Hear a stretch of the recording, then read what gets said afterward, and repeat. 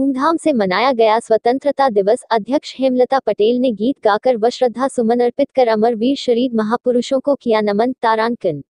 आज़ादी का यह पर्व हमें न सिर्फ़ स्वतंत्रता सेनानियों के शौर्य व बलिदान का स्मरण कराता है, बल्कि हज़ारों राष्ट्र चिंतकों द्वारा संजोए गए, स्वर्णिम भारत के प्रति हमारे कर्तव्यों का भी बोध कराता है, अध्यक्ष हेमलता पटेल। ब्लॉक बहुआ के सुजानपुर प्राइमरी स्कूल में स्वतंत्रता दिवस कार्यक्रम का आयोजन होठों में आज़ादी के गीत व होंठों में नज़र आया तिरंगा। गुलाबी गैंग लोकतांत्रिक की अध्यक्ष सुजानपुर की ग्राम प्रधान और ब्लॉक बहुआ प्रधान संघ अध्यक्ष हेमलता पटेल के नेतृत्व में स्वतंत्रता दिवस कार्यक्रम का आयोजन।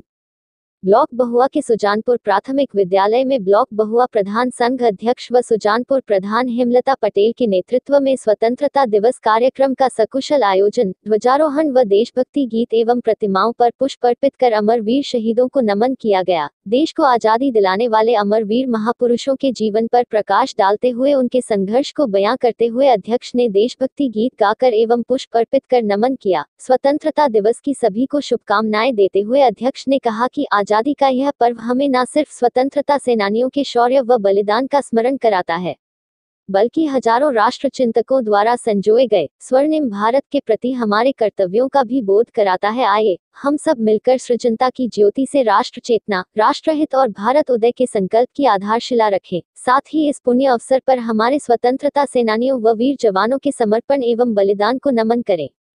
तारांकन इस दौरान प्रधानाध्यापिका अर्चना सिंह के साथ विद्यालय स्टाफ व बच्चे व ग्राम सचिव मनमोहन सिंह व स्थानीय जनसमुदाय में कमला देवी, सुरतिया, राजरानी, शिवा, रंजना, मीना, प्रियंका, कोमल, मयंक, शोभा, प्रिया आदि लोग उपस्थित रहे तारांकन।